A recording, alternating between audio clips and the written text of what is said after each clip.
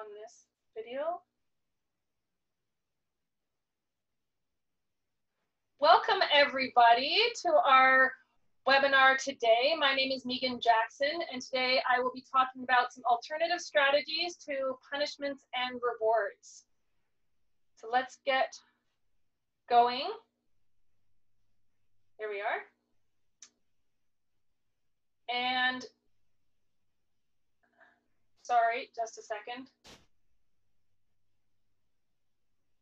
Wanted to make sure that I have myself. Can everybody, I don't know if you can see me. I'm sorry, new to this. I'm fiddling with the controls here as I'm going. So, okay, hopefully you can see my face in this. I'm not sure what I'm seeing, but I'm working on it. So here we are. I'll just keep going. So we're going to talk about some positive discipline techniques that work. So let's start off with, okay, I'm new to this. Forgive me, I'm going to stop the screen share for one second and I'm trying to figure out the PowerPoint part of this. Okay,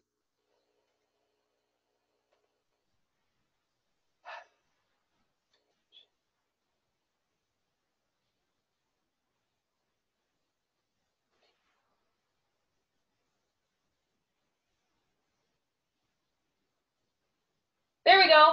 We've got it. So sorry about the delay, everybody. Just working out the technology kinks.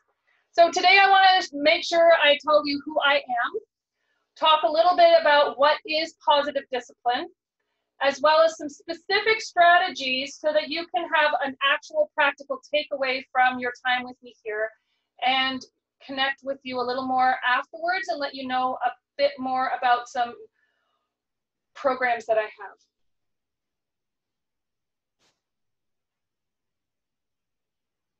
So my name is Meaghan Jackson.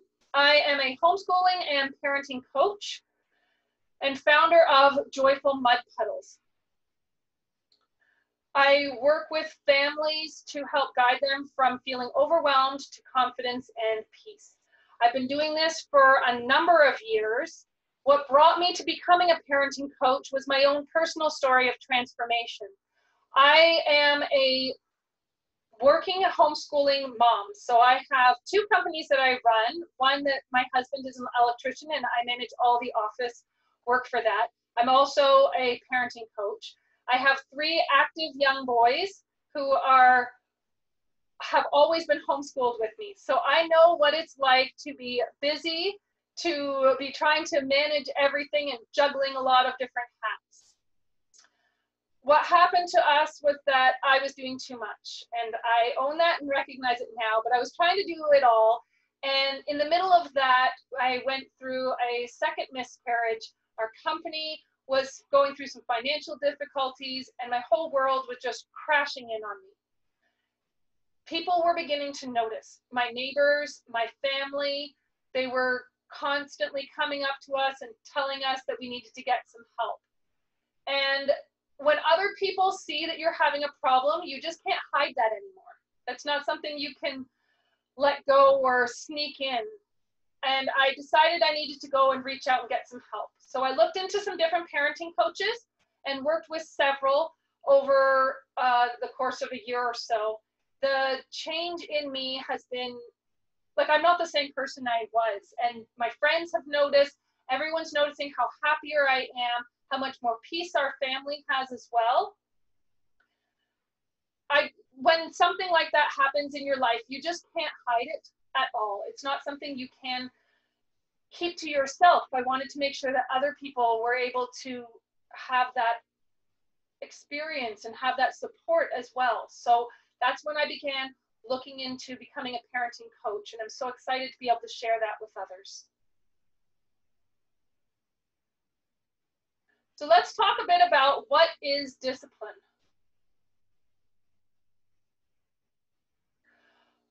Discipline really comes from a Latin fancy word that means instruction and training.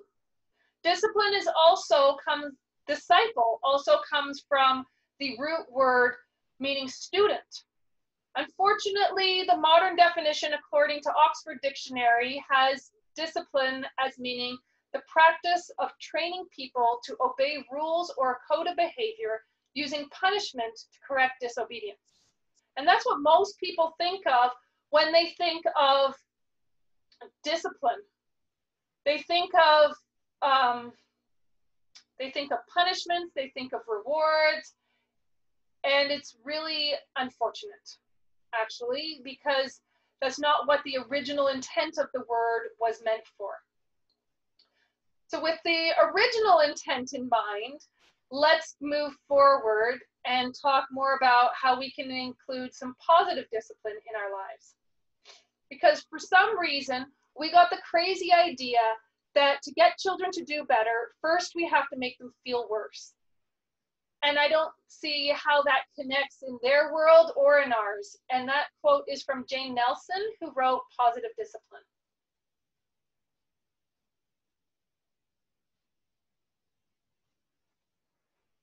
So if we're talking about the five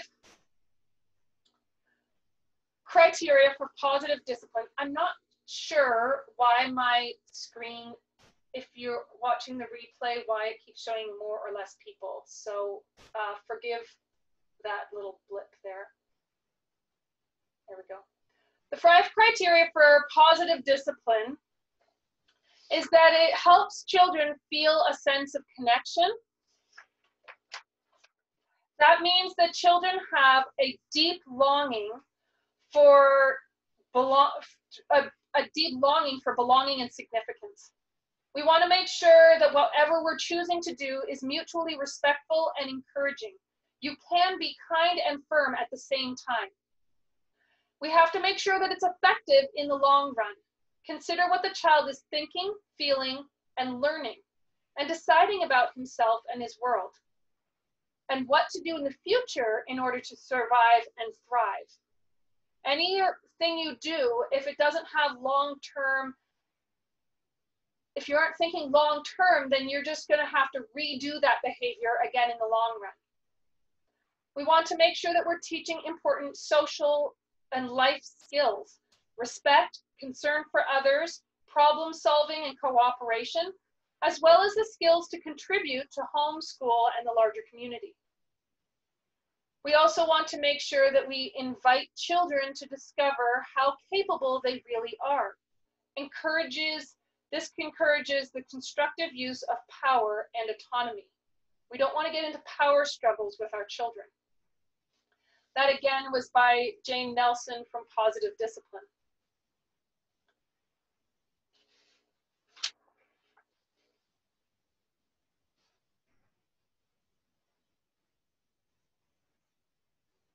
What other names can we use? So, so if you don't love the word or the term discipline, you can also use gentle parenting, peaceful parenting, respectful parenting, attachment parenting, or mindful parenting.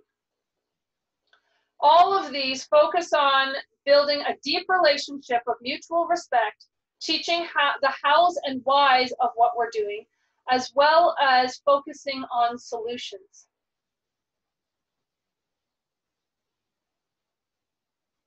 And I, I prefer using gentle parenting. That just comes up a lot more in the world that I work in. Now let's get into some specific parenting strategies.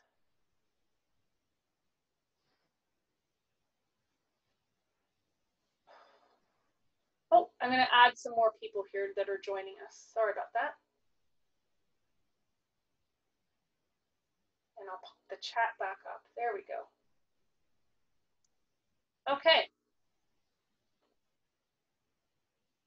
So let's get into some positive strategies that we can use and make sure that everyone has some actual takeaways.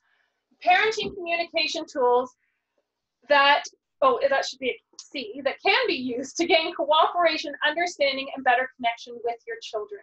Because ultimately the goal is that we want to connect with our children. We don't want to get into these power struggles. We don't want to have to keep punishing them that's a lot more work on us to be honest. You have to if you implement rules and regulations that's all on the parent that has to be able to keep track of what punishments they are when they're doing them what's going on. Let's like make our lives easy in the process. So the first strategy i want to introduce called breaking the code. And I think somebody, if you're a participant and you're not muted, could you mute yourself? Because that would be helpful. Otherwise, I can go in and mute. Just hear doors closing in the background. So breaking the code, children often have an underlying reason behind their behavior. So we need to be a detective and look for the needs behind their feelings and actions. My first go-tos is to see, could they be hungry or tired? I get some very hangry children in my house. If you have to think about all of a sudden halfway through the day, you're wondering, why on earth is my toddler having such a hard time today? And then you remember that they were up in the night or up really early or someone was sick the day before and a light bulb goes on you're like oh that's why that's why i'm having such a hard day so the first key would be looking at are they hungry? Are they tired? Are they overheating? Are they overwhelmed? What could be going on? There's also four other main challenges that we often see with children. And I was talking to that in one of my parenting groups the other day. So if you find that your child is wanting some undue attention, they keep um, they keep interrupting, they're keeping you busy, they're wanting to get special attention. What that really means is that they want you to notice them and involve them usefully. So we're going to talk about some other ideas you can do specifically for that. If they're looking to be more bossy, misguided power, they want to be in control, try what they're asking for really is to let them help and to give them more choices. Maybe they're feeling like they're being too controlled and they want to take more control over their, their lives. If you find your child is seeking revenge or wanting to get even that happens a lot with siblings so keep that one in mind. Then you're going to want to think that what they're really saying is they're hurting. Validate my feelings and often you could do that, or if you're working through a struggle with a sibling, once their feelings have been validated, might not totally solve the problem, but it definitely eases up on a lot. Another one that comes up often is assumed inadequacy. You'll notice that they want to give up or be left alone. That one's a little trickier sometimes. We do have a lot of perfectionist children or children that just they've been trying so hard and they want to give up, try giving them small little steps. Instead of saying, oh, you're capable, I know you can do this. Sometimes the task is just too overwhelming for them and they need a little bit of help and guidance. The next strategy that I want to introduce is called asking for help. If you notice that a lot of the strategies above that we just talked about really have something to do with the children wanting to contribute or help. It's more effective to allow a child to experience being needed and useful rather than just telling them that they're, they're capable. So some suggestions is to ask for opportunities for help. Um, hey, I'm working on dinner. Can you come help me with this?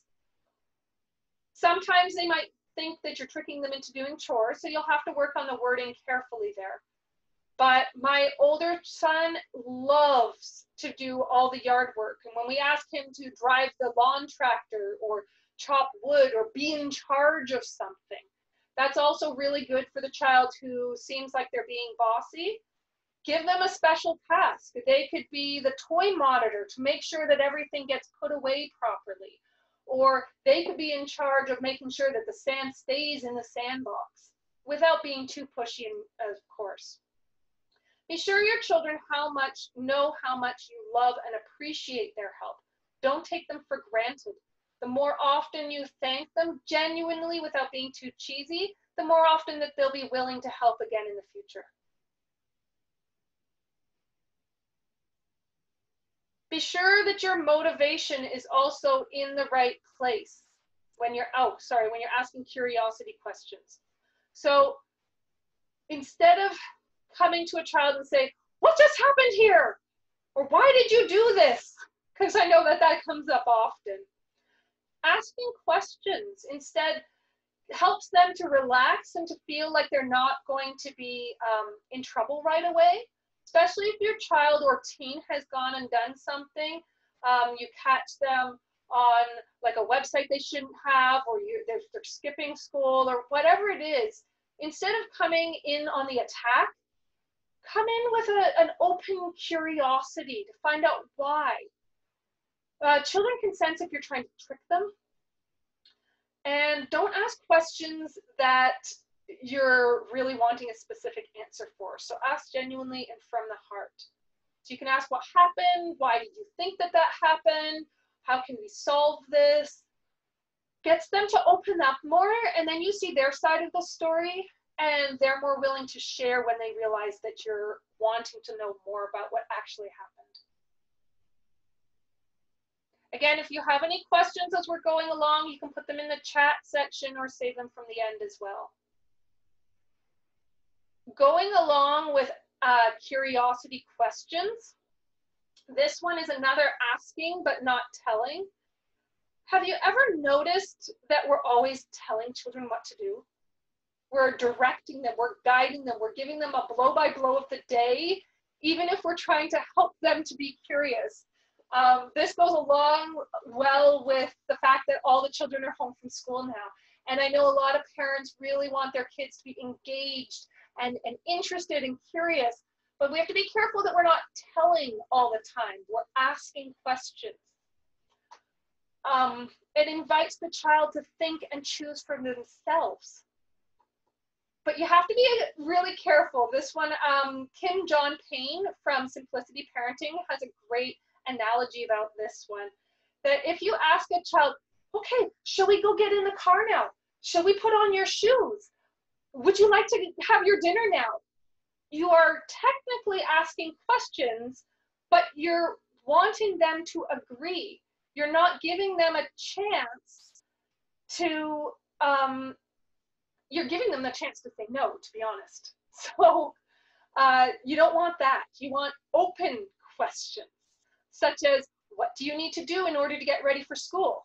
This stops a lot of the nagging. Get ready for school. Bus is coming. Gotta get ready. Put it on them Let's brainstorm. Uh, the milk spilled. Okay, what do we do about that?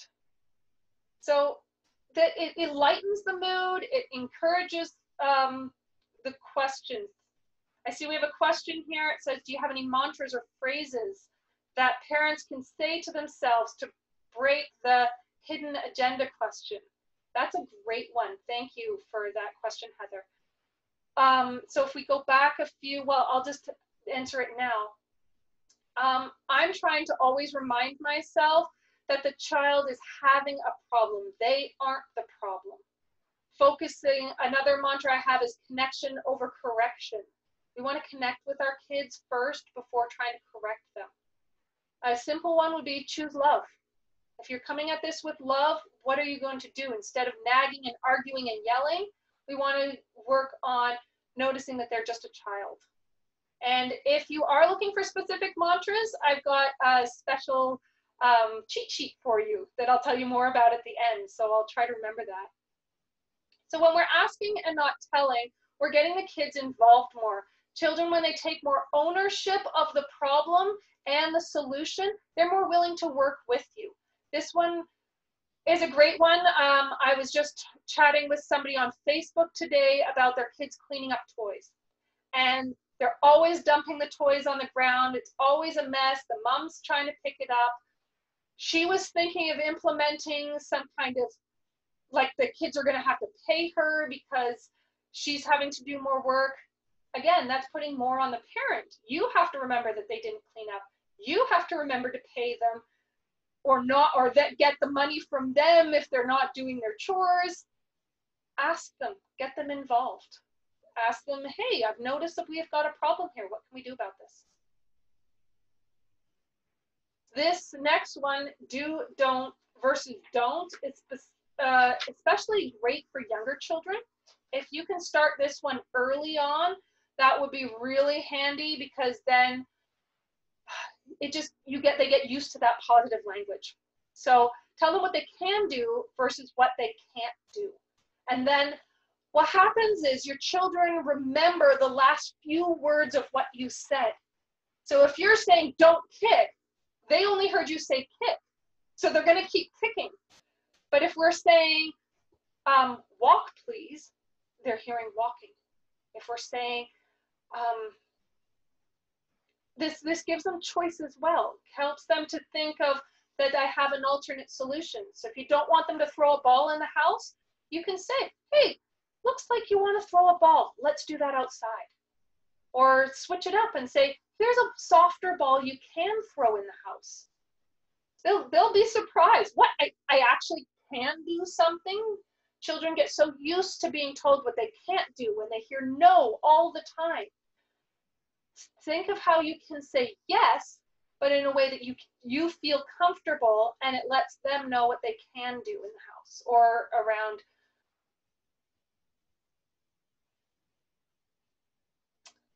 This one I've talked a lot about. We're going to focus on solutions. Instead of focusing on blame, focus on solutions. Children know when they've already done something wrong. They, they know they weren't supposed to hit. They know they weren't supposed to color on the couch. They know they weren't supposed to blow up. So blaming them just makes them feel worse about themselves. It makes them wonder if you actually unconditionally love them.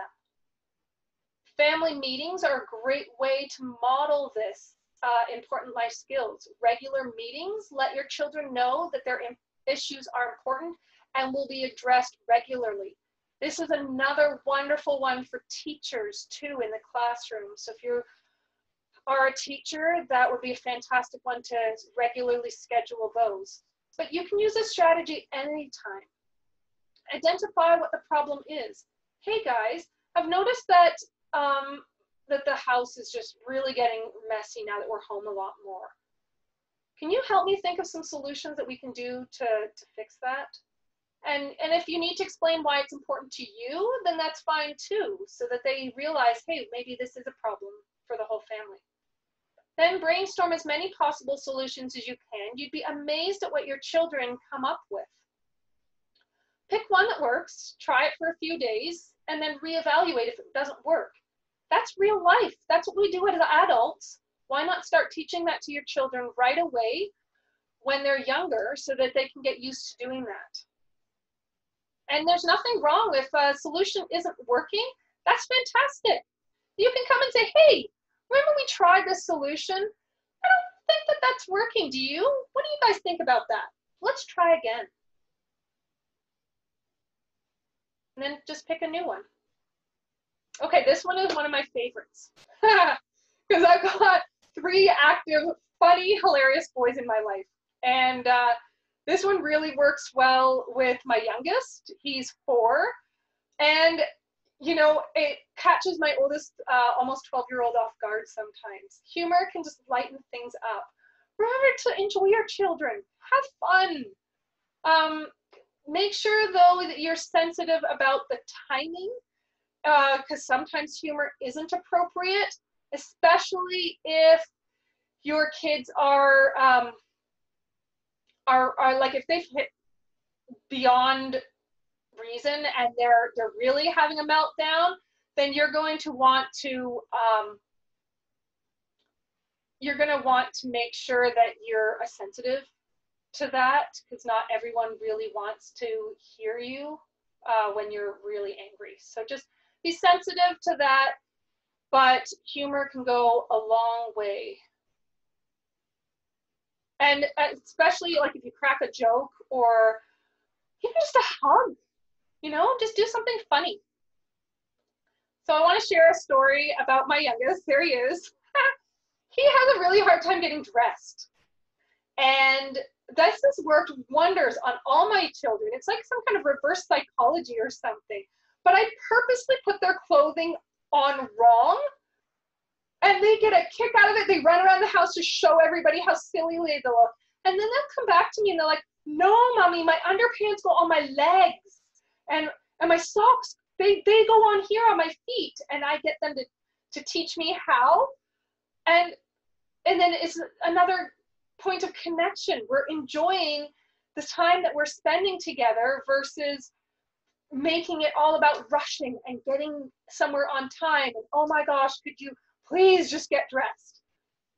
There's a time and place for that too. Sometimes we are struggling, but um, adding some humor, and there's my messy bedroom in the background. So enjoy the sneak into my life. Um, special time is something that so many different parenting um, gurus will recommend. So Dr. Laura from AHA Parenting and Jane Nelsen from Positive Discipline. I know so many others. Special time just gives you another chance for you and your child to have undivided attention. It's best if you can schedule it regularly with each child. You know how busy your own life is. So don't worry about what other families are doing. If you can catch each child once a week, fantastic. If you're able to do a few minutes every day, wonderful. Start with a short amount of time and build up whatever you can do. But this time lets your child know that you have their undivided attention. Ideally, you would let your child choose the activity and take the lead because it's their special time. This isn't a hidden agenda to try to get in an, an extra lecture or extra schoolwork done. This is your chance to really focus on, on them. Turn off your phone if possible and let them know when their special time is over. Have a set time so that they are not trying to drag in or make you feel guilty for ending board games are fun, sensory play is fun, uh, reading, movies, whatever it is. You'll find that the more often you do special time, it fills their buckets and it fills them with the love that they need to be able to move on with the rest of their day without trying to get your attention.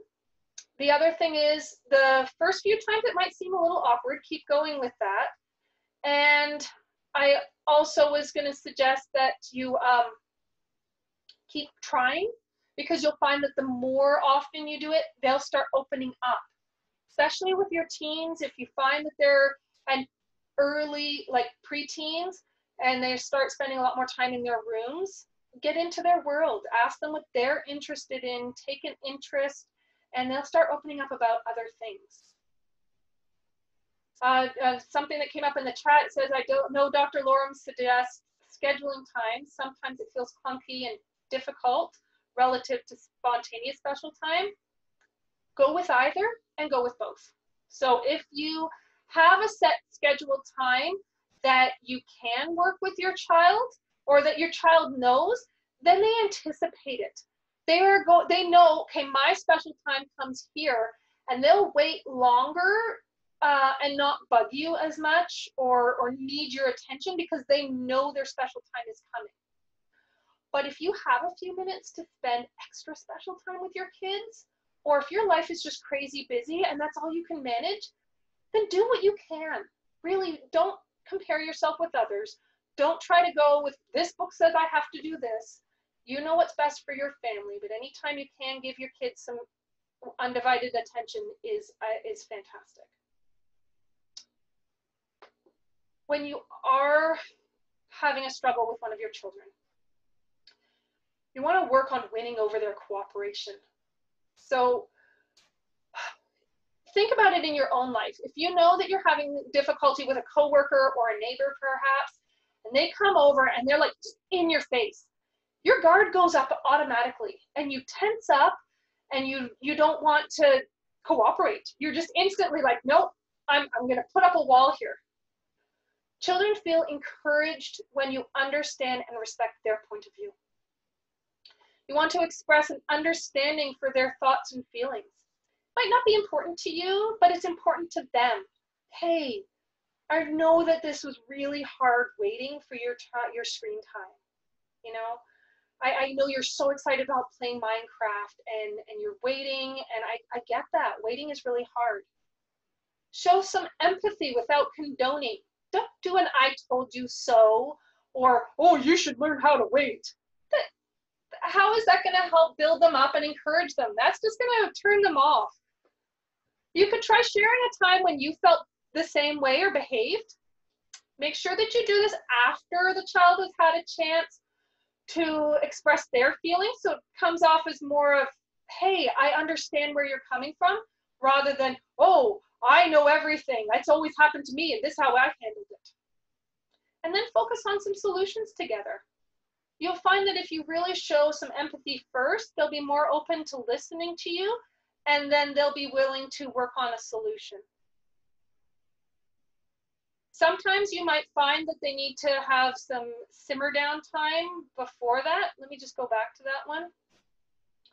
For all of these, keep in mind that you might need to have uh, some cooling down time. When, when tempers are high, it's okay to have a cool down time. Now this is where the timeouts, positive timeouts, time ins, so many words go flying around the internet what I want to suggest is make a safe, calm space. I didn't have a slide for this one I, that just popped into my head to remind you all, but you want a safe place where that they can know that it's okay to have big feelings. And and I can go here and it's okay to take a break when I have a big feeling. But when you put a child in time out, you're throwing them away with all their big feelings, locking them in there and say, think about what you've done. They just want to think about how mean you were and what revenge they can get on you, or, okay, my issues don't matter and I'm just going to shut you out. They're not thinking about what they've done and learning from that. What you want to do is either be with them to help them work through those big feelings or create a safe zone in your house to work through big feelings because we all have them. I find them myself. How often have you locked yourself in the bathroom with chocolate or gone to take a shower? Um, I've locked myself in the car. I'm out. I quit. And I just, I have to get out. So teach these things to your children. Um, it's okay to walk away and have some cool down time. And you need to work out what that word looks like for your family. And I have several blog posts that I've got about that, and I'll be doing some more as well. Um, but yeah, sometimes you need to calm down before you try any of these strategies. You calm down, your children calm down. Just trying to win over their co- cooperation when they're upset is not going to really work. So those are the big strategies that I have for you today. Want to make sure, yes? um, and I just wanted to share with you, if you found this helpful, if you find you have more questions, or you want to get to know me a bit better, I have a, brand new course that actually starts on Friday. Our first session is coming up. I have a special offer for you if you register before Friday. So if you register Thursday by midnight, for my course, I am offering you a free extra hour with me one-on-one. So it, again, if you are listening to the replay or if you were here in person and you register by Thursday night, you can, I will automatically add an extra hour of one-on-one -on -one time with me. Let me tell you a bit about my course. It's called Peace for the Weary Mom. Dads are welcome too, of course. Uh, it's a course to transform your life. And what's different about it from most parenting courses is instead of telling you prescribed, I think you need to work through these things, they basically go through the chapters in the books that they've produced, which are fantastic. There's nothing wrong with that. But you have your own family, you have your own immediate needs. And so we're going to address those first. I have a wealth of knowledge I'm going to share with you during our sessions but I'm going to find out and focus in on what you are facing right now to give you some immediate results in your life. We're going to, it's group sessions on Zoom calls, as well as follow-up emails with any resources I think you might help be helpful for you. And we have a private Facebook group as well that you can chat and message me during the week so that you aren't left waiting for our next session. The cost is $320 Canadian. This is open worldwide because it's online, so we'll just work out the currency conversion for that. All you would need is um, to have access to Zoom as well as email and, and whatever you need to open some Word documents and PDFs and things. So I have a special video on my YouTube channel that tell, goes into more detail there. And I just want to really encourage you, the transformation I found in my own family, working with one-on-one with parenting coaches really makes a huge difference. We all need support. We need a village and we need to be able to um, we need to be able to help each other out. So there's a link there. Joyfulmudpuddles.com is my website. Peace slash peace for the weary mom is where you can find out more details about that. Oops, wrong way. Just a second.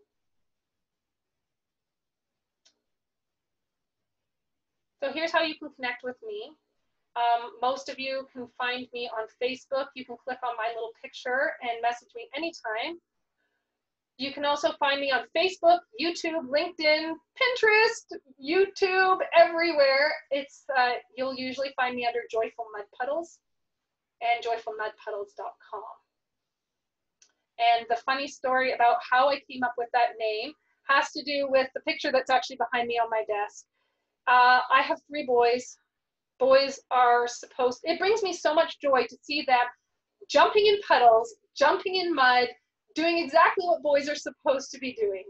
But it also is an analogy for our lives. Lives are messy. And but you can find joy in the mess if you just jump in and and take charge, take hold of your life and try to find the joy in there.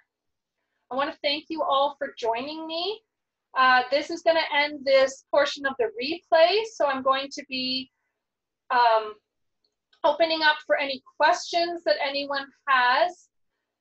If you have any questions that you want to put in the box, or if you have any questions with me, we'll make sure that we end. I'm going to end the recording